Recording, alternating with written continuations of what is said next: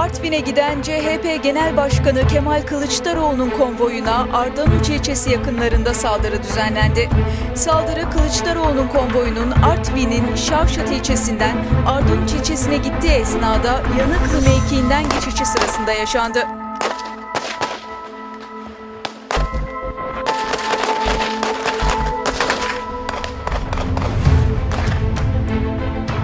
Kimse merak etmesin. Sağ olun.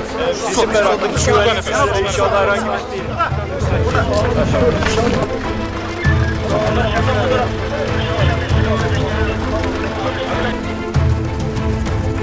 Bu ülkenin çakıl taşını bir kişiye feda etmem.